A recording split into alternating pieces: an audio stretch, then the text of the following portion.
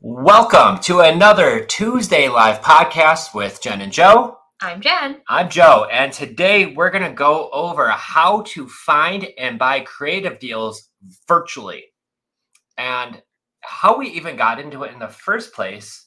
Um, I would say it was kind of what? On accident. On accident, just like everything else that happens, right? Yeah, it was the pandemic, and the first, I don't remember, we were running sponsored ads, maybe is what happened, and the Mhm. deal came through close by Albany. Yeah. Oh my gosh, I forgot all about that Mm. one. That's what put us on the map of, ooh, we can do this. Well, and I think that's what happened was we were starting to talk to sellers about deals. So today we're going to break down Mhm. how we found them, how we made them, and how you can too. So this is going to be the topic of today. If you've got any questions, make sure you drop them down in the chat because this is live. If you're listening to this on the recording, uh, guys, you should be coming live to this Tuesday podcast because many people like, hey Joe, I've got a question. Well, bring them here. We'd love to answer them. And then number two, before we even get started, I have a lot of people reaching out lately, and I know you have too. Like, hey Joe, like how can I do this like myself? How can I take it up to another level? So if that's something that you want to learn how to buy creative finance deals without using banks, without using your credit, hit me up on my cell phone number, my Oh, actual cell phone number, 585 207 2240. And let's get on a call and we could love to see if we could help you too. But that's my actual cell phone number. So I'd love to chat. Um, just don't call me at midnight because I won't answer. But during the call day, you back at 5 a.m. but I might call you back at 5 a.m. So just be ready for that. Um, but today I'm really excited because I feel like we kind of cracked the code a little bit earlier on doing business virtually. hmm And we can even like, you know, at first it was just a couple hours. It was in the same state, but then, you know, we we ended up moving, and so out of state investing became a real thing, real fast for us. And so that's why we're here to be able to really just chat about that. And it's not as scary as it seems. So some of you might be in markets where you just don't want to buy in your backyard. And so this is something that you could really take note of. Or maybe there's a great deal, but it's just a little further outside of your comfort zone. And maybe we can kind of just burst that bubble and let you know like it's totally possible. So, oh, we're asking for their cell phone again. Uh, 585 207 2240 is my cell phone number. Maybe we just drop that down in the chat. go. Ask Um, and you shall receive. So there you go. That's my actual cell phone number. But I will tell you, I think what started doing some of this virtually was I had a job. You did too, but you were staying at home with two little ones. So when a seller would reach out to us and say, Hey, what about my house? It wasn't like I was just driving straight there. We would talk on the phone a little bit. And then if we decided it was a good fit, then we'd go see the property. But I could tell you from doing that, many mistakes that we've learned. Mhm. How many properties have we been to that we didn't buy? Too many. Way too many. Yeah. So we figured out a process that even before we go, when we did go, we had to ask these questions. And then we're like, well, wait a minute. If we're buying a turnkey house and it's beautiful and they just send us all these pictures and it doesn't need a thing, do we even need to go? And I think that's what kind of started that little bug for us. Mm-hmm. And now that we do this virtually, we maybe go to one house a year, if that, where we actually go there and meet the seller. Um, a lot of it is because we're doing deals all over the country. But number two, we've done deals 15, 20 minutes from us, and I've never gone there, never will, don't want to, uh, because we figured out there's a better way. Mm. And I know some people might right now might be listening to this, be like, what are you even talking about? You're buying real estate without even seeing it. It's true. So, uh, how we dialed back to getting into this virtually was we were finding off market properties. Sellers were reaching out to us because of our marketing. Now, if many of you have heard already, I'm probably sound like a broken record, but we love Facebook. We love Facebook groups. I hear a lot of people out there saying, I'm spending thousands of dollars per month on lead generation. I actually just got off the call with somebody who wanted to join our coaching program, Mhm. and I didn't even tell you. So she says that she joined another coaching program previously, and they had her spending a thousand dollars a month on lead generation. What form? Uh, it was Deal Machine. So I don't even know what Deal Machine is, guys. I'm not. I mean, it. honestly, like that's not even. I mean, it's a lot when you're first starting, but a thousand dollars really isn't a lot. a month, yeah, twelve thousand dollar a year marketing budget isn't a lot, and it reflected because she's like, you know, I'm, I'm sending out these my marketing, I'm spending this money and I'm only getting a couple leads for a thousand dollars a month. Whew. And then when I explained to her that one of our clients just got over 200 leads out of one Facebook group for free, she was like, Oh my gosh, I can't believe it. I was like, How much would you have to spend to get a couple hundred leads? And she was like, You don't even want to know the number. I'm like, Well, you know, that makes a big difference, guys. So what we were doing is we were generating a lot of leads. And the first thing to doing any business is you got to generate leads. I don't care if it's a donut shop, a tire shop, buying houses, you got to have leads coming in the door. Well, we kind of cracked that code years and years and years ago that we've got more sellers coming in than at times that we could handle. And that's why we just had to hire a bunch more people to help us with that. Um, but when you're when we're generating leads, sometimes they're really close by. And I think one of the first ones that we did was it was three and a half hours from us. The not first deal that we did, first deal we did it at a distance. The first deal that we did without even going to see the property, it was about three and a half hours away from us. It was the beginning of COVID, and you couldn't go anywhere anyways. They weren't doing any of these things. And it was a fixer upper. We had some pictures, and the guy who even sent us the pictures didn't send us great pictures. I just can't stop laughing because the amount of calls he got. From what? that because you posted it and it was such a great deal. Like your Oh. phone like blew up for like weeks. out of control. That's how I knew I had a really good deal because everybody was like freaking out. And then I remember I had calls where I would just share the deal. And so I, break it down a little bit. The, the lead comes in Mhm. and we hopped on a call. He had two properties, was it? And he had moved back into this one with his dogs. yeah. So he inherited his dad's property. He still had his property. This was in upstate New York. He inherited his dad's property. He was living in there. Meanwhile, this is like a really super high end house, but it was all like old, dated. The Yeah. power was turned off. It had none of these things going to it. Didn't even have water. And so he was sleeping there in the middle of the wintertime with his dogs. Mm-hmm. And he says that all the dogs would hop in the bed and they'd keep them all warm at night. And Nicest guy.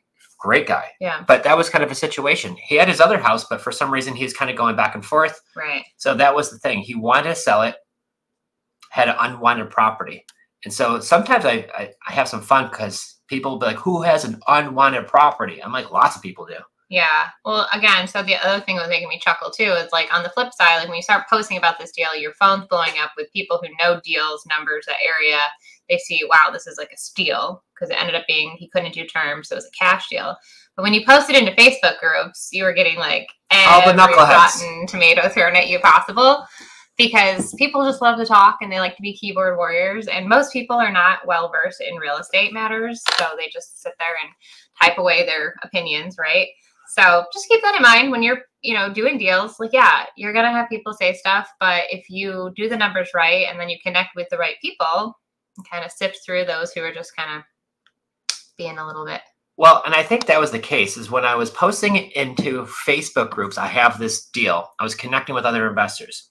And when I did that, I couldn't believe how many people reached out. I'm like, Joe, that's an amazing deal. I want it. And then I'm having like people fighting over the deal. But then I have the knuckleheads on Facebook who are like, oh, there's there dead bodies in the house. And oh, I mean, all the, the, the things that made no difference, right? Yeah. So you just have to understand that even if you, if, if I were to give away free dollar, hundred dollar bills, people on Facebook be like, yeah, but you know, that's a hundred dollars. How come you're not giving away free thousand dollars, right? It's some just knucklehead. So, So, like again, we talk that. about like mindset so much. This is why, because like you're gonna get like virtually beat up a little bit here with people's words, whether it's on a phone call or you know a text message or Facebook groups that you're posting in. So you gotta be strong, gotta know what you're doing, and gotta have the have your have people have your back. Um, and so that was really definitely part of it. And then that deal, we found a great buyer. And Uh, we had buyers fighting over it. And then after I had it under contract, I have two buyers who are constantly calling me like, hey, listen, like if he doesn't buy it, I'm buying it. Please hold myself next in line. Like I want that deal. And what's one lesson you learned from that deal? Oh my gosh. Just one. So There are many. I would say on that deal, the one thing that was interesting was um, from sharing the deal, sharing it with some investors, some investor, one of them, went to the house and tried to skirt around me. Mhm. And then the the buyer, I'm sorry, the seller called me and was like, "Hey, there's somebody here at the house right now. Said he wants to pay me even more money for the deal." And so, how I handled that situation, I think, was key. Mhm. And I explained to him, I'm like, John, we are currently buying your house. I do have it under contract. You legally can't sell it to anybody else. And I don't even know why these people are in your driveway. So the best thing to do is just tell them to get lost because they're just wasting their time and your time. And we, I made him understand that when he signed the purchase and sale agreement, that it's a deal and it's a done deal. And he can't go now sell it to somebody else, even if they're knocking on the door, willing to pay more. And I, re- I remember who it was, and they, we had a conversation about that too. So, but either way, you got to watch out for that sometimes. Mhm. But the conversation you had, like the man of your word, like it was just Yeah. so heart to heart. And like at the end of the day, you're just trying to help the guy. You weren't at like, you know, taking all the money by any means. It was a very small spread looking back on things as we, it was our first deal that we done that way. And shout out to John because we're friends on Facebook. So he still follows us. He might be watching right now. So that's really cool. So I learned that from that deal. And then if you remember, we did a deal in Buffalo, New York. Was the next one. That was about an hour from us. Mhm. And we did that deal virtually as well. Well, wait a minute. Before we even did that, we did the one on Clark Avenue. We did the one in Cattaraugus, all virtually. We didn't see these houses till after we already bought them. Yeah. So like one of the best things that we were doing because it was you know pandemic times, and so we couldn't leave our house. It seemed in New York, and I distinctly remember doing a virtual walkthrough on Facetime with the Henrietta property. And the seller's just like chilling in his lounge chair, and he's like showing actually both properties, Buffalo and Henrietta. And he's just showing us around and giving us a little tour. And because these properties were recently purchased, right? Like they didn't Yeah. have a ton of equity. They just decided, hey, it's 2020, times are weird, I'm moving. Um, both of them actually went to South, uh, North Carolina, which is kind of funny. But that was something we had a lot of people saying, oh, but you, you didn't even go to the house, you didn't send anybody there. But there were some factors there that played into that. Well, and I had this conversation actually with Ron LeGrand. And Ron's like, well, wait a minute. You bought real estate without even going to see it? Why would you do that? And he was egging everybody on because he knew what the answer was. Well, why? Because we bought it with no banks, we bought it with no credit. With a lot of these properties, we're buying with just a hundred bucks down, a couple thousand dollars down, and some closing costs. So I'm buying turnkey houses now. These are some of the first houses that we bought that weren't junkers that we needed to bring contractors to and do all this renovating. Like these were already done, recently purchased, now wanting to sell it a short time after. Really didn't need much work. Just like sometimes just a good scrubbing, guys. That's all the Mhm. houses really need, especially if you got pets or things like that. We usually like to throw in some smoke alarms for good measure. Always smoke alarms, always carbon monoxide detectors. That's my like number one rule when Yeah. you own some properties. Make sure there's an overkill of smoke alarms and carbon monoxide detectors. Um, always be on the safe side on that. But I think that was really it. That's what we were doing. We are buying them, putting some smoke alarms, cleaning them, offering them rent to own. Mhm. And that was really, I think, the catalyst that set everything off. Right. And it's like part of it was we couldn't, we shouldn't go because of COVID. And then now it's just because of time at this point, like inconvenience of not driving all over the state of Florida or all the way up to New York. All the places. Well, I think not only that too, if you think about it, where we, we were buying them this way, Mhm. but we were also showing them this way too. When we were offering properties rent to own, even in our very own city, I was not going to send Jenn to the house to go meet strangers. There's no way. All we did is we put a lockbox on the door. And after somebody reached out to us, because we had marketed the property all over North America, but when somebody would finally reach out and they say, I'm interested, we'd ask them a couple questions. If it was a good fit, we would get on a phone call. And if they liked what, what they heard and we liked what we would hear, we'd set up a showing. Now, the showing was done virtually, which means we would send them to the house, but they would send us a copy of their driver's license. They would get to the house, we'd give them a lockbox code, and everybody would freak out. You're sending people there to the house without you being there? I'm like, absolutely. I don't want to show houses. Well, even when we first started to do rent to own, is that what you're talking about? Yeah, Oh, okay. yeah. I was realizing that, yeah, because you were at a tent sale. So back in his car days, he would be gone for like the whole month of June. I, shout out, to some of your old uh, car friends on. And it was terrible the one summer where we had five properties available for rent to own. And I literally had a two year old and a four year old. And I remember one time this guy keeps calling me And he's like, the number's not working. I can't get in the lockbox. So I pile the kids in. It's like sticky hot summer day. We drive all the way over and the lockbox opens, garage opens up. And I'm like, were you at the right house? Turns out he wasn't because there was like a cat in the window. And so I drive all the way over there just to check on the lockbox. I remember just being so annoyed and then going to get um, ice cream for the kids. But it's just like, you know, you, you, just deal with some interesting things, but you don't have to be there. And nor would, you know, otherwise I would have spent my whole life just showing houses. Oh. But, you know, we kept them vacant.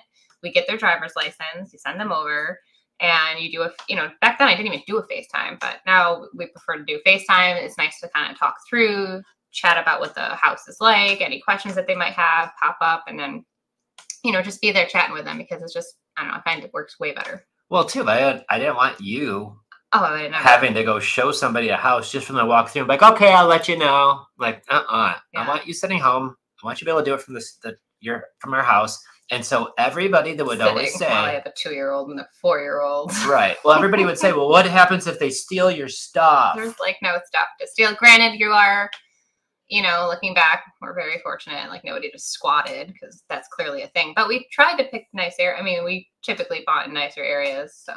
Yeah, but I mean, the point of it is like, we don't even like furnishing the property with appliances. When no. we offer them rent to own, our renters bring in. So it's not like you're going to steal a stove or a refrigerator because there's not one in the house. Yeah. So what are they going to take? I guess you could have the thought of them squatting. You could literally like worry yourself to death and worry yourself right out doing this business. Yeah. And it honestly is like a mental, and it's like a, a muscle strength at this point. like I think you're way better at it than I've gotten a lot better. But there are so many things in this business, like oh, what if this could happen, that could happen. So it's like you plan accordingly, you follow protocol, you try your very best. But guys, there are sometimes that the people you hire to do a clean out in Watertown they're going to dump all that stuff in a cemetery and you're just going to get a call from the cops. Okay. On a Sunday morning. That's just something that happens. And we survived. yeah, that did happen. And, and, you know, the funny thing was they had like a Facebook page. They were recommended in this local Facebook group to do yeah. cleanouts. We sent them to do the property. We bought virtually, had some stuff left behind. Mm-hmm. We send them there to do the clean out. They say they're there doing a clean out, and then we get a call from the state police saying all this stuff is in the cemetery. And uh, lo and behold, they went and cleaned it all up, and they did not do the job. So, so what I would do is if you know this stuff is like piling up in a house, and you know when a dumpster is needed. like make sure you have like actual like FaceTime with the contractor with the dumpster. These people did not have a dumpster; they had a trailer. And where were they going to go? Like couple hours. Oh yeah. I Once know. I found out that they didn't have a dumpster on site and they were going to take it all this stuff like hours away, I'm like, like Judge Judy would say, "You're full of crap." Yeah. So I, I share that to be like completely authentic with you guys. Like, yeah, it is kind of crazy. There's weird stuff that happens, but you just learn from it, and then you develop your systems and processes, better protocols maybe make a couple of referral calls and you just roll with it. And it's just it's life right? Like it's a little unpredictable but you have to take some calculated risks. Yep. So i think that's some of the very first steps that we're getting us buying virtually right? We start buying them locally. We so start showing them locally too to our rent to own people. So we're used to doing that. We started getting some deals a little bit further from home. You're talking an hour a couple hours away. And then we got one in pennsylvania which was now we're in another whole state. Mm-hmm. And when we bought that deal, we bought it with not a dime down. We had like no payments for like think like three or four months, maybe five months, whatever that was. And it was a no brainer deal. So we go do that deal, and we even put in our rent to own person without ever seeing them, without ever going to the property. And we started doing this routine, and we started figuring out what was working. Um, and then the one that really just catapulted everything is we had a seller reach out to us and they said they have a house they want to sell in North Carolina. So we were chatting with them and they said, well, if you really want to help us out, we would much rather you buy our house that's available in North Pole, Alaska. And I'm like, North Pole, Alaska? Like, does Santa want to sell his house? Like, we were goofing around. Like, we were giggling at first when we got brought that deal.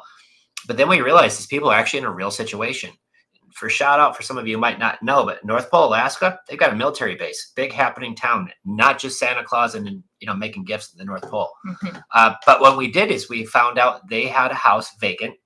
They wanted to list it. The realtor says it needs some work, so before I'll even list it, I'm going to want this work done first. The people were making a 12. Ah, Brittany, there she is. Uh, Brittany was the one that brought us that deal. Um, she was on our team at the time and says, Joe, Jenn, I have a deal in North Pole, Alaska. And we started giggling to Brittany about it. So glad you could tune in today. Um, but that's really what, what it was. And when we when we found that deal, we talked to the seller. We found out they were making a twelve hundred dollar payment to this house that was vacant Mhm. for over two years, and they didn't have the money to go fix it up. So when we talked to them about buying the house, and they agreed on terms, us buying it, taking over their existing mortgage. But once again, I didn't want to have a house in North Pole, Alaska, because it gets cold up there and like now furnaces and all this stuff and it was just kind of new to us so we actually um, we put it on as, Do you wish we had kept that?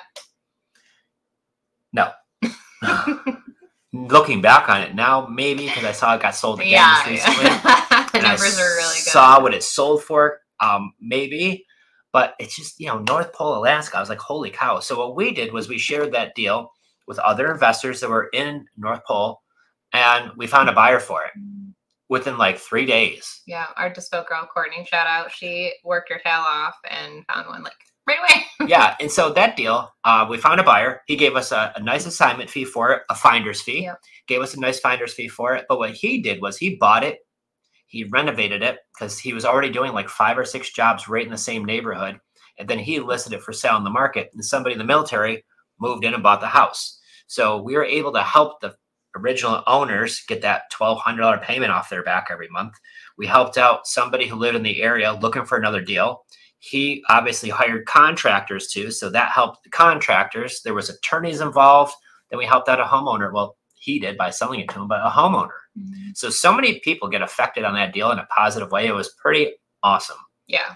and after i remember looking at jenn talking with brittany and the team and i was like well if it's a good deal and it's in north pole alaska like we could be finding deals all over so we a little bit crazy started doing Facebook ads, but we are running them nationwide. Do not recommend. Don't do that. Uh, because uh, at the time, Brittany called me and was like, Hey, Joe, we need to slow this down. We've got so many leads coming in right now. It is out of control. Yeah. And you're trying to find deals, you know, comps in rural Indiana and all well, every market we places. talked about before is really different. So, is if you're ready to start exploring different markets, then you really have to start thinking about like, are you ready to do the research and find boots on the ground, realtors, other investors, networking. You know, it, there is a lot that goes into it, and so it's not for you know somebody just starting out to like dive into you know more than I would say one to two markets. So here's the deal. Um, if you're going to start doing this virtually, you can start in your own neighborhood. You can start in your own state. You can start an hour away, right? So maybe the deals are in this area, but it's an hour from us. Well, then I'm going to look at doing that deal virtually. But then I got to say, and I don't know why, all of my California friends and investors and a lot of our California clients who are in our coaching group, for some reason, nobody wants to buy in California. So every one of our California investors, they all want to do deals virtually. So Ohio seems to be a hot spot. Um, Florida, everybody loves Florida. Texas. Indiana, So find out where your hot spot is. So maybe you live in California and you're listening to this right now, and maybe you don't want to buy there, but you do want to buy in Ohio. Mhm. Well, then find out where in Ohio and start marketing in those areas. And what we've learned, even if I find a deal that's an hour from me, if a seller says, yes, you have a deal and we're going to make that deal, I have to drive an hour there. I'm going to spend at least an hour at the property, right? And then I'm going to spend an hour driving back. That's three hours. In that same three hours, I could have talked to how many more sellers looking for another deal. I could have done so many other things, and I could have paid somebody a few hundred bucks to walk the property, to take pictures, to do a full blown inspection of the property, to have a trained professional who knows what to look for, look for all the little things. So then I can understand what that property needs without having to go there. Mhm. But- yeah, that Buffalo one. I look back, I'm like, like I remember we walked in and we realized it had a little bit of a dog smell, so we didn't even eat our lunch inside. No, we ate it in the back shed. But that was like nothing that we could have couldn't have just sent our contractors out, and they would have they addressed it. They did, so it was like, oh, okay. So realize that like don't need to go to every property. So here's one tip that Jenn just started bringing up. that I will tell all of you if you buy deals virtually, you cannot smell virtually. Okay. So when some properties, if we notice now when I'm looking at it in a seller sends pictures, if I see a lot of dogs, cats, pets, I've got one in Florida. The guy's got like 18 birds in this little tiny house. You got to understand there's going to probably be some of the smells that you're not going to see, right? So that's really not to smell. What's that? You don't see. Yeah. Oh, you know what I meant. so you're not going to get to smell that part. Yeah. But, which in some cases. You know it's there though. You hear a dog bark, you just assume what you're going to smell. You hear a cat or birds in this case. Mm-hmm. But you factor it in, put it into your budget cost, you know, and that's really allowing yourself that room. Like, so when you're chatting with the sellers and you're asking them questions, like, make sure you're asking a lot of those questions. And then also, like, you're not tying yourself to a number that you can't then go back and have some wiggle room on because that always happens too. Yeah. And so here's the thing if you hear a dog, you're talking to a seller and you hear a dog in the background, I always say, Oh, you have a dog. That's awesome. What kind of dog do you have? I have one too right? And they're going to tell you about, oh, I've got five dogs. You're like, oh boy, well, I can imagine maybe that have a little odor of dog in the house. So mm-hmm. sometimes in casual conversations, the other thing too is if I get pictures of the house and I see dog crates or I see dogs, or I, I just assume mm-hmm. it's going to have that smell. But that's that's about as bad as it gets. So can sellers you know, if you're buying these turnkey houses that really don't need much, maybe just a little bit of paint or something like that. And that's why we like terms so much mm-hmm. In these creative finance deals is because of the fact is we're buying mostly turnkey houses. Yeah, even the light flips tend to be a little more involved than you would think. a little bit. Yeah. Always. So, but they're still doable. And if there's money to be made, then have at it. Yeah, so I think the, the when we're dialing back to how are we finding these deals, we primarily love Facebook marketing. Um, when we first got started, we did direct mail. You got to spend thousands to do direct mail. Um, I would just cold call Zillow leads. It's like banging your head against the wall and wondering why your forehead works doing that. So if you cold call, don't get me wrong, it works. Every way works, but there are just some that are a lot more challenging than others. And for me, I like talking to people. I just don't want to have to cold call 100 people a day. So when we really dialed into how to bring in leads through Facebook, that was our favorite way. And the one neat thing about Facebook, whether I'm targeting Facebook groups or rather I am spending some money running ads, you could target wherever you want in the country. So if, if we want leads coming in Kansas City, Missouri, we could get on leads in Kansas in Kansas City, Missouri today and start getting them coming in today. We can start talking to sellers. We can find out if we have some deals or not. So I got to say, that's been my favorite way of doing them. Well, I think it's efficient too because it doesn't matter what your profession is, you work around your schedule. So the people who say I don't have the time, go do the time audit that I, I share in our emails and download that PDF or just take out your binder and write down every half hour, hour what you're doing. Well, how can I get those, Jenn, if I don't already subscribe to your email? Go to Creative Finance Playbook. Check out the makeover. She just had a little facelift. Um, and then if you scroll to the bottom and just you know submit your information, you're gonna get some really awesome tips and tricks uh, every single week. But your time is yours and you just have to make sure that you're you know accurately using it and so when people say I don't have time, like I'm sure you're very busy. We really, truly all are. And so um, I love it when people tell me that you know they have they kind of like make their own routine where in the morning she's brewing her coffee and she goes and she puts into the Facebook groups and then the leads start trickling in around like from there until lunchtime. So on a lunch break, she is able to start running that script, asking those 10 questions again, right on that website. And you're able to then see, oh my gosh, high level of motivation. People are writing paragraphs. I have a house to sell. I've, I've been making two mortgage payments, or I just inherited a home, or whatever the urgency is. That's when you pick up the phone as soon as possible maybe as soon as possible isn't until three o'clock when you get out of teaching or maybe it's 5.30 on our way home from work and you pull over to, to do a quick call, but it's the 15 minutes that add up. It's not three hours. Those people who say, oh, I just don't have three hours to do this in. You need the three hours like spread out over the day, typically. Like it's not something that always happens in like this big, large chunk of time. I know it didn't happen for us. So I just like to share that too because whether it's virtual or in person or like in your own backyard. Like just find the time, make the time. Well, and I think that's the key. Everybody says, and I think one of the biggest excuses, I don't have the time. Mhm. I'm like, well, geez, you know what's really scary is where my phone says, well, here's your weekly report on how much you've been on your phone this week, Joe. Mhm. And then it's like, here, how much you've been on social media, how much you've been on other things. And I'm like, my gosh. So if all of you got on your phones and looked at how much time we all spend on social media, you, we waste a whole lot of time. I was mine was way down last week. I was like kind of shocked. It said I was spending more time on like something else. I was like, that's weird. Probably with you and your Asana board. Probably.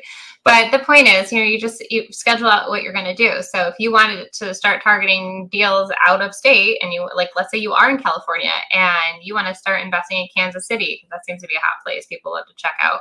You know, start joining those Facebook groups over there and posting in those Facebook groups and then talking to the people that have houses available in those Facebook groups. But just create yourself a little schedule. Don't overthink it. We are in such a distracted society of all the bells and whistles and the expensive toys that you just don't even need. Like if you have a pen and paper, like go old school on yourself. Use your notes section in your phone. Use a Google Calendar. Keep it simple. Well, and I think too, like what Brittany mentions down here is about setting your priority Yeah.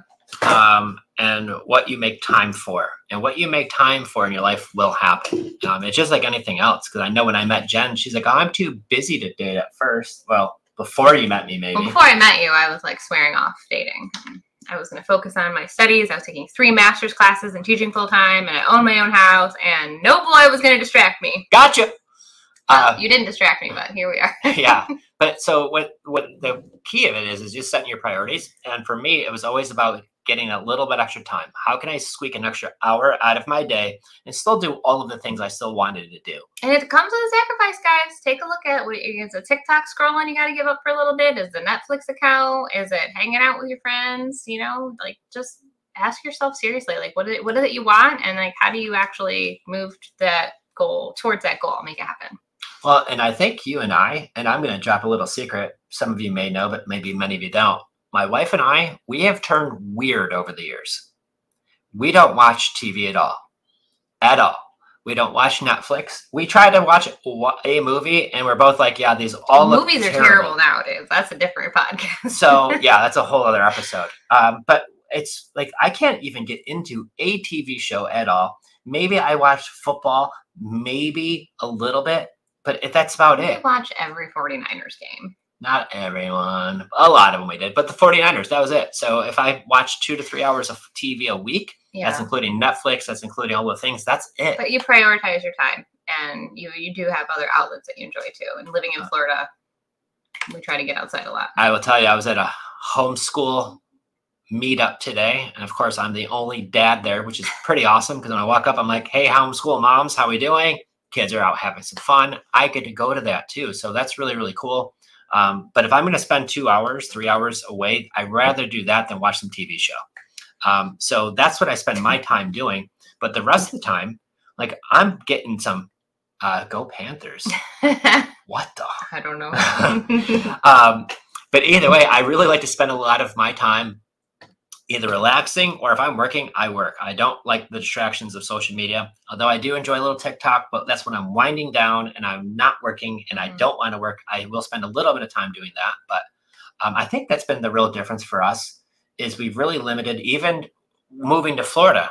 We don't get to see friends and family, right? We do virtually, like on a FaceTime, but that's really it. So our time is really spent spending time with the kids, doing some things outside of work that we really like to do, like the beach every Sunday. Um, and then when we're here, we're working. And I think that's really where we focus and really dedicated ourselves. But that's why now putting that time in has really made a big difference for us. And so when I'm when I'm talking to sellers, I will tell you the one thing that I always like to do, and this is why I love Facebook so much, is if I put a post out there that says we are looking to buy a property, and I put that into a Facebook group, and I have a lot of people reach out to me. I had somebody a couple weeks ago. The guy said he's in his 60s. He is not selling his house. If he were to sell it, he'd be 10 years before he even consider selling it because he's going to live there forever. But he wants to know what we'd pay for it. Are you serious? I swear to God. The weirdest thing ever. Not And so- selling my house, but I'm gonna respond to an ad about selling houses. about yeah something. about somebody wanting to buy a house and even though i'm not going to sell mine i still want to know what it's worth so is that somebody i'm going to just hurry up and get on a phone call with worse, absolutely, drive to their house. absolutely not Yeah. okay but on the flip side i can't tell you how many situations that we hear somebody just inherited a house somebody just got relocated for their job and they're stuck making two mortgage payments and they've already moved the other house is vacant and empty and they're struggling like those are the ones i want to get on the call with right away somebody who actually wants to sell, somebody that we can help. They've got some motivation going on, they have a situation going on, and maybe even some pain, and we can help them with that, right? So I set my priorities. If I could only spend a half hour today making calls and I want to make three or four calls, spend your time wisely. Uh, don't spend, if you're just getting into real estate investing, I know so many times, and this gets a little frustrating, we want to have the website, we want to have the all the things right all the bells and whistles but you haven't ever even talked to a seller yet really get good at talking to sellers and i think that's what just leads it in so the free facebook hack that all of you know but i'm going to share it again is you join facebook groups so if i'm going to target jacksonville florida i'm going to go in facebook and i should probably like on a saturday do a live like how to do this exactly how i do it um i just hit up some more recently in our area Or a weeknight, yeah. or even a weeknight. Not a bad idea. Um, so if you'd like to see me do that live and you want to get an invite, drop invite below. Comment invite if you want to see how I'm finding and Jenn, uh, how we're finding these free Facebook leads in groups and exactly how we do it. Put invite in the comments below, and if I have nobody saying that, then we won't do it. But if I get a whole bunch of y'all saying, "Hey, invite," then we'll we'll host that, and I'll make a whole calendar event, and we'll make sure that you get an invite for it. I see one. Okay, we're on a good path already. uh, so what we're going to do? Okay, now there's getting more.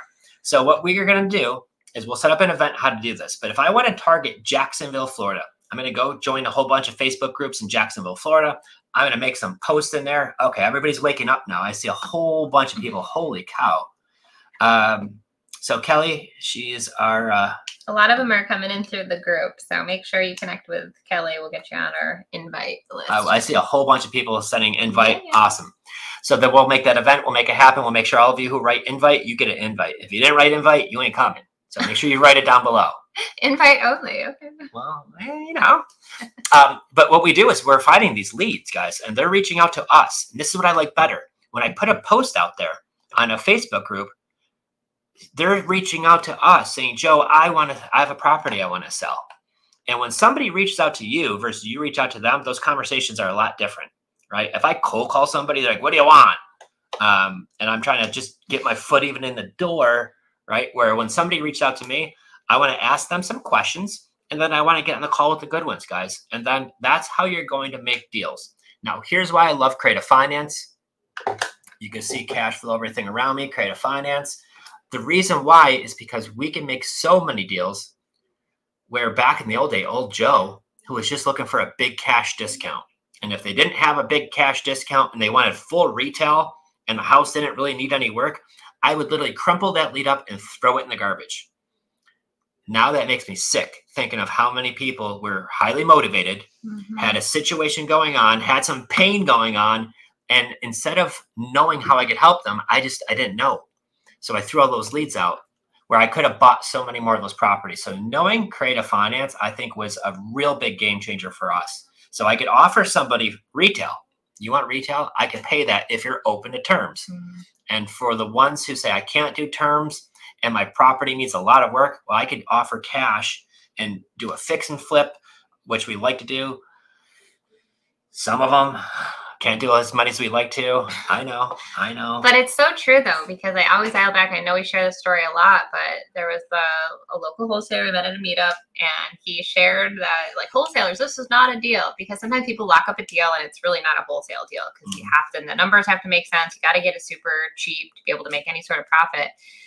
And like he shared everything. He even shared the address. I think I took a second and like Googled it, and I was like, this would work for terms. Did you ask the lady? And he's like, no. So he took the reel down from Instagram and then got on the phone with you and we were able to help. So it's like once you can spot these two, like like Joe just said, all of a sudden like the world opens up and you can like help so many more people when you have this extra tool in your tool belt and have the proper way to structure the deal with the correct paperwork, protecting the seller, protecting yourself, like making sure that you're doing all of the things properly because there are some in- intricate things behind a deal like that. But I can say, I'm going to say it, it's recorded. I'm going to say it live.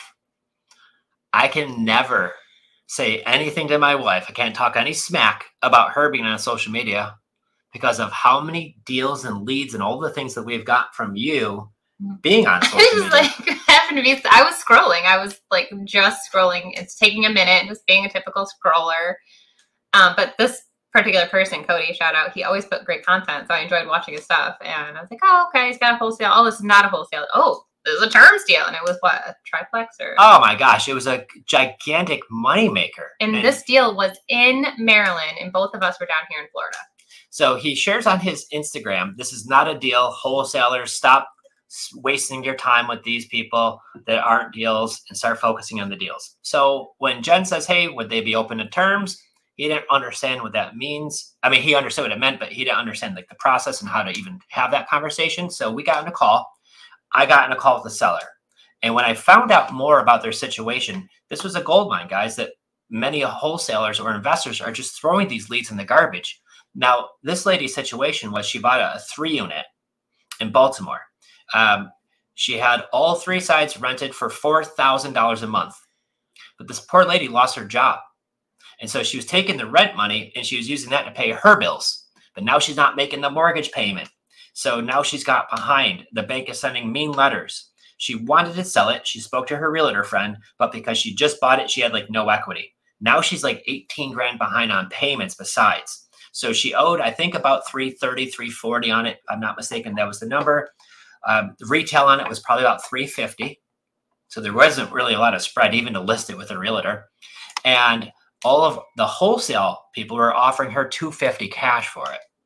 So this is why she owed too much. They could not buy it for 250 cash because she owed 330, 340 on it. But when we came to find out having the conversation with her that her payment with taxes and insurance and everything included was like 1900 a month. You heard that right. 1900 a month and she's collecting $4,000 a month in rent. So she had great cash flow. Her interest rate, I still remember, 2.8%. So she had a really low interest rate, turnkey property, cash flowing like a monster. She was about to lose this house and she was freaking out, said her credit take, took a big dive. Her credit went into the garbage. She just wants to be able to get out of this house. She doesn't want to have to have it go into foreclosure, but it looks like that's going to happen. All the investors are just leaving her there to nothing happening. Once we had that conversation, we put two grand in her pocket. We paid the back payments which I think was like $18,000. And what Cody did was actually Cody knew somebody in Maryland looking for that deal mm-hmm. who already had some rental properties in the area. And that that investor gave us a really big finder's fee for that deal, which we did split with Cody because he brought the deal. So we got a check. Cody got a check on a debt deal. Our seller got a couple grand in her pocket. And now with our investor friend who bought the deal, he got a turnkey three unit at a two and a 2.8 rate that was cash flowing right away. Mm-hmm. From making those payments now on time, what did that do? That helped boost the seller's credit score back up because now that account was seriously delinquent is now current and it's being made on time. So we helped boost her credit, put a couple grand in her pocket, took care of all the back payments, right? So we've helped out so many people in that situation on a dead lead. So uh, I see more people writing the invite. Holy cow! I'm glad you guys are taking me up on this. Now I got to do yeah, it. Yeah, we're getting some more requests for your phone number again. we're gonna make them listen to the recording. um, so for the phone number, five eight five. My cell phone number here, Kelly. Can we write that down in the comments too? 585 207 2240. That's my cell phone number. Um, I think I already got a text message from this. So that is my cell phone number. There she goes. Um, shoot me a message if you want to get on a call. If you need to learn more about how you can get these deals yourself and you want to learn more about that, I'd love to help. Um, and we love helping people find these deals all over the country. Guys. Yeah, because again, another one we did virtually. It was around the same time Cody and I connected over that one deal. Another couple of investor friends, we we just wrapped that deal up around the holidays. That one was in Connecticut. And some friends that usually pop in, not sure if they're on today, they do real estate, but didn't know how to structure creative deals and had a friend that was getting behind on some payments and already left the house, right? She was already living in. So, yeah, that's exactly what happened. Had a house in Connecticut. She moved out west. I mean, not out west, like just a little out west. She was like on the west coast. House was sitting there vacant. She paid some money to have some contractors do the work. They did some of it and then took off. So now she's got a house that's got some work done, some not stuff in the garage. She just wanted to sell. So um, she wanted 200,000 for the property because that's what she bought it for. She owed, I think it was like about 135. So she knew. How she, you remember all the uh, numbers? it's there's some things my brain's real real good at, and that's usually the, the numbers, like names and street names. Forget it, I don't even remember.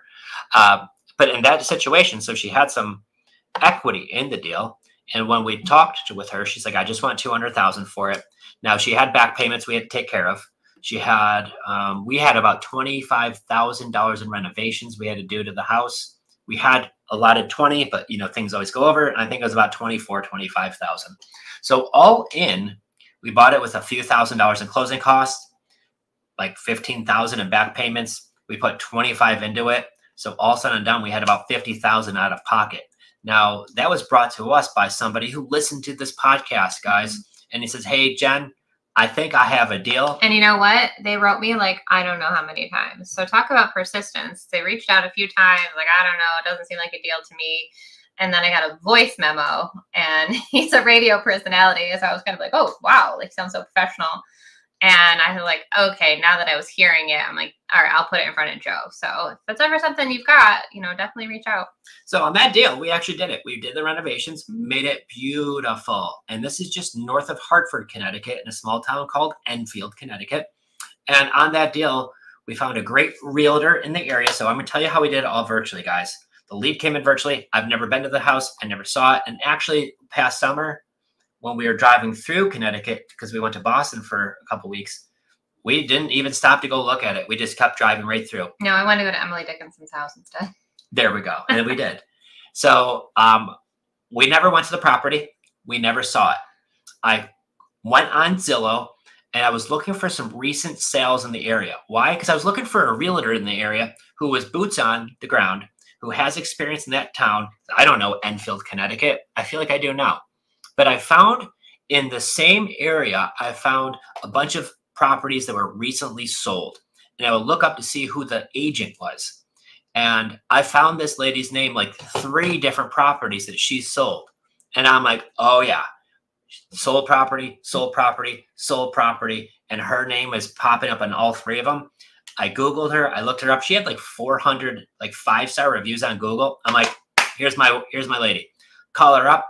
I explained to her, hey, I'm, my name is Joe Dellefave. I'm a real estate investor. I'm going to be buying this property. Sometimes when I buy a property, I turn it into a rental. Sometimes I do a fix and flip, and I'm considering doing a fix and flip on this one. What do you think if I were to list it with you? I could sell it for. And she was like, Oh, I live around the corner from this. I know this area. I do all my business in this area. And as I'm on the phone, she's like, I'm pulling in the driveway right now. I was like, Fantastic. She does a walkthrough. She tells us exactly hey, you're going to need a contractor to do all these things. She got three different quotes. She's been doing it for like 30 years. She knew all the contractors in town. She knew all the attorneys, everything, because she's been doing this for a long time. I think the three quotes was key there. She did. And she says, Joe, you're Write that down if taking notes. If you find out a kick butt realtor who he kind of she needed to have all these great ratings on Google, like her name just kept popping up. And then, you know, so she had three great connects that have you know contact information for contractors and then you can get three quotes and then from there you can pick the best one. And that's what she did. She's like joe you know obviously this is going to need some work. I'm going to get you a couple different quotes. I know all the contractors who do good work who won't rip you off. Um, i'll set it up. Just saying maybe get three quotes not just go with one. All the time. Right. Why are you saying that? Well, I don't know. The deal in South Carolina, we only had one contractor. Uh, we still did that one, but yes. Lesson learned. Um, but what happened with her was we had three different coats, three different contractors, did a lot of business with them. We picked the middle one because his pricing was pretty in line with everybody else. He did very good quality work. She used this guy a lot, but he was also available like in the next week Yeah. besides. And So- she even helped guide us a little. She was like, okay, these are the pros, these are the cons. Okay, like I'm not telling you what to do, but this is what I would do. And I will tell you what, they knocked that house out of the park. We got 18,000 over asking when many properties weren't selling for over asking. We got over asking. We got way more than we even thought we would for the house. They did an amazing job. So we got a lead from having a podcast. We made the deal all without ever seeing it. Took over payments for a short period of time. Took over her payments for a short period of time. So it was a little bit of a subtail action there. That's exactly what it was. Get it, girl. Right up top. But that's what it was, guys. So instead of buying the house for cash for 200 and putting in some money, we only came to the table about 50 grand and we split that cost with our with uh, the one who brought us the lead. So really for us, it was only about 25,000 total to fix and flip a whole house. And the rate of return on that money was well over 100%. So it was a great deal for everybody. Our seller, she gave us a 10 year term. I don't know if you remember that or not. but she- Oh, I remember. she gave us a 10 year term to get her cashed out, but we got her cashed out in a handful of months. So she got all the equity way sooner. Shout out. She was, I'm sure, thrilled. Um, but that's what happened on that deal. So we do fix and flips virtually. Um, it does create some challenges. You got to use a lot of cameras, a lot of cell phones, a lot of lives and FaceTimes. But guys, you could do it just the same. It really is. And I will tell you from doing virtually, that prevents me from spending how much time going to these houses. Mhm. It prevents me from coming home with stuff that are in these houses because I used to get yelled at when we would do fix and flips We were close. running out of room. You just kept bringing home more like shovels and chairs, lamps we didn't need. all types of stuff, right? That's the part of it. Yeah, but the key really is like if you're a go-getter, like there are other go-getters out there, interview a couple realtors, see which one you really, you know, gel well with. And then in this day and age, there's just all the ways to stay in communication. If you want to be super fancy, like if I were the one in contact, I would probably create like an Asana board or Abby she does have her Notion board. Joe's old school. He just goes through text and calls. That's just what he does. Um, but you know, there's definitely like levels to you being like able to really streamline things. But you showing off my gray hair now? No, but it's, it's a little frustrating because sometimes the phone is the Uh, let me tell you, my phone had it's dead by noon. so at least I our our contractor back up in um in Rochester, I have his phone number. So I'm always like calling and texting and checking in. Plus I pay him. So I, I mean I pay him all, but it's kind of funny. oh, it's so funny because every time I'm they're like, "What's your email?" and I always give them your email. Yeah, So look at me.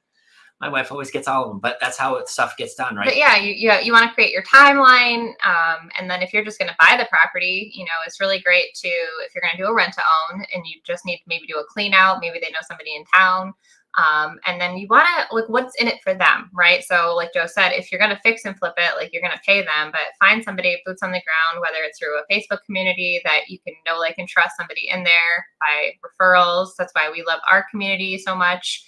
And then also like there's Thumbtack. I haven't really used it in particular. I have. You have? Yep. Okay. It's good. You can find contractors on there. Um, it's It's like anything, you know, you just want to make sure you do some due diligence. Try to hop on a, a Zoom or a FaceTime, you know, keep it simple, but also like try to meet the people. Don't just take their word for it. Yeah, and the one thing I'd always say, if we're going to buy a property, it's in a new area, and it's something that we're going to decide to keep for a rent to own. I like to find out in the local Facebook groups, like who are the contractors in town to talk to, who come highly recommended. The neat thing is, there's so many people that you leave Google reviews and all the different reviews now. That's Mhm. helpful. That doesn't mean it's 100%. So the one thing I will say is, don't pay them all in one shot. Like we Mhm. break up the payments. Um, you know, if it's going to cost five thousand dollars to paint, well, you might get like twenty five hundred up front.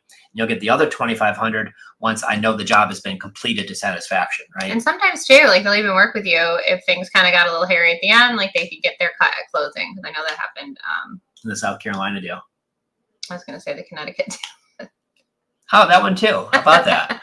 so Right. there are creative ways even for that. But any other questions? Thanks so much for being here, guys. We got about five minutes left. Um, but I mean, it doesn't matter what the deal is. We call it the playbook because it just depends on the numbers and which way, like, the seller needs to exit this property and do they have a lot of equity? Do they have no equity? Can they wait? Can they not? Right. And I think that's my favorite thing is to find creative finance deals Oh yeah. because they are turnkey houses. Although you and your cash deals, I don't think you'll ever I just stop loving those. I just they just fall into our lap. Somebody says, "Hey Joe, I won't Take sell my for house." terms, but hey, I want." Like I'll give you an example. We've got one in Pensacola. We're doing a fix and flip in. Um, I think the after repair value is about two seventy five, all done up. 250, 275. The seller wanted one fifty. Wait a minute. Wait a minute. Go ahead. What? No, go ahead. I'll let you finish first. The seller would not do terms, but she would take 150. We put a new roof on it, and we're just going to paint, do some flooring on the inside. All in, we're going to be well under 200,000. So you paid how much for a property in Florida, cash? Well, it depends on which one you want to talk about because we also Well, have I, there's this whole thing going all around the Instagram. I keep saying is like, there's no way you could buy a property for under three hundred thousand unless it's in like a really bad area. Wrong. You just got to know Florida, guys. Um, you know what? And that's so funny because we're from New York. So everybody, if you're not in New York, so a bunch of you are, all from all our other friends who are not in New York, maybe you've never been to New York. New York is a really big state. When you hear New York City, it's this one tiny little bleep on the map. Hmm. There are more cow fields and cornfields in upstate New York than you could ever even imagine. So not everybody lives in New York City. True So that. Florida is also a really big state. And if you're along the coast, yeah, obviously things get to be expensive. If you're in major cities, things get to be expensive. But Pensacola is not like a little sleepy town. It's a pretty fair sized city. It's got a large military base there. Um, so, like, that's pretty well known. And then our Williston house, that's a little bit more rural, Mhm. but it's in a place where it's still close to the water. It backs to a golf course. And we bought that house for $110,000. So, cash. Um, obviously, it's worth considerably more than that. And what do we do? We put in an air conditioning system. We have to fix the garage door because That's why our little Instagram, like TikTok, we were joking around. I want to just list it and sell it, but he wants to keep it. I love it. I don't know. I just like keeping properties, guys. It's kind of fun. Uh, All right, last question of the day here, Susie. After you post your Facebook ad and they tell you that they're going to list it and prep it, they're prepping for a realtor, what do you do? What do you do? Uh, that's a great question. I said, would you rather just list it with a realtor or would you like to sell it and not pay any commissions at all? And then roll into the script. Mhm. Yeah. So we still ask the questions. Yeah. If it's not listed yet and they haven't signed a contract, I'd ask the question. Even if they have it under a contract Or with a realtor, I'm still going to run the script. I'm still going to ask the questions. Now, you got to understand if I make a deal with those people, Mm, I will have to pay the agent or bring them in on the deal of some sort. So that's the case. But for me, I like dealing directly with the sellers. And I've got a lot of friends that are realtors. Shout out. I know you guys have to do a, a lot of work to get um, your business, and I get it. But sometimes when I'm looking to buy a property and there's a realtor in the way and they're the gatekeeper, my gosh, they make it just so much harder because now I have to explain what terms are to the realtor. And many times, guys, they just don't understand it. They don't know, they don't understand it. Don't get me wrong, there's a bunch that do. Majority of them do not. Um, because I believe they don't teach you that when you're first getting started, but it's in further education. So when you're going to renew, they start going over that. I think many realtors just kind of glance over it because I can't tell you how many realtors down in Florida where they're they've been doing it for 38 years because they love to brag about that, but have no clue what creative finance is. They barely know what seller finance is on a free and clear house. They don't understand how to do a wrap, majority of them. So you got to understand um, if I'm going to talk to somebody who has a property, um, I want to go directly to the seller and have that conversation with them and try to eliminate all the gatekeepers. And then if we do make that deal and it is listed, I will bring that realtor in. I will tell them what terms that we've agreed on, and I will tell them to write that deal up. Um, they still got to get paid, right? So I understand that. mhm. Uh, but I will also try to negotiate what that commission is because I didn't come in through their marketing where I saw the house for sale. Their seller reached out to me and said, Joe, would you buy my property? We asked some questions. And then through those questions, I find out it's listed with the realtor. So that's just super important to know. Um, but always ask the questions. And if you don't have our script, you should, It's all for free right on our website, creativefinanceplaybook.com.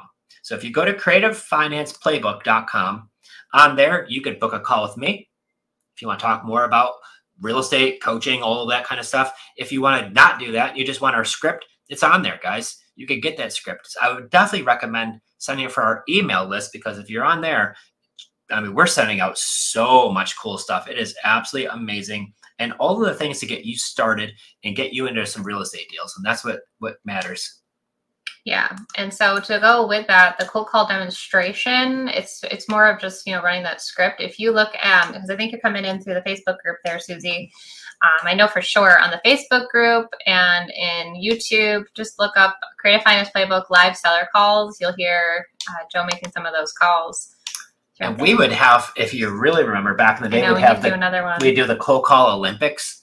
Uh, we would go live, and there we'd bring our whole team on a Zoom. We'd go live, and we would host the cold call Olympics, and we were just cold calling people, making deals. And I got to tell you, every time we held one of those events, I've always loved them because we always make deals too. So we got to do more of those.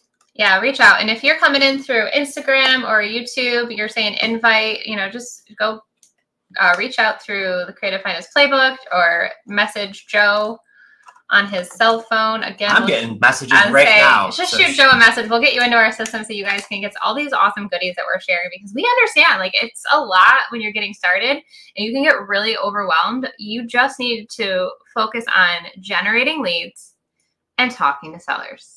The Bam! rest falls into place step by step by step. So that's the best advice I can give you. But uh, That's I, the best advice out there, dear. It is. So many folks want to focus on all the other little things. It's really that easy. Generate leads, talk to people. And guys, if you don't have incoming leads, you don't have a business. Dun, dun. So how do you do that? There's many ways. There's we have a list of like 25 different ways to get leads. And out of the 25 different ways, six of them cost money. There's like 19, 18, 19 of them maybe that I'll are share free. that in one of my weekly PDFs too. You're gonna give away that one? I don't know, maybe. Dang, you're good. All right. Who wants to see that? oh boy.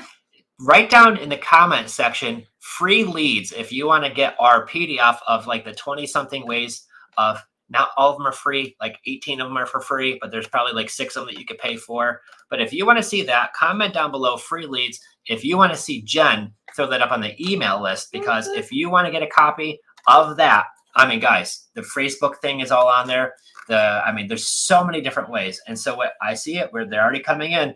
So free leads, guys, if you want to see those. And I will say for sure, if you have an abundance of leads coming in, you ask some simple Leads questions. pouring out your eyeballs, according to one of our clients. yeah, according to one of our clients, she says I've got leads pouring out of my eyeballs, and she can't even market anymore because she's got so many she's following up with, which is all great.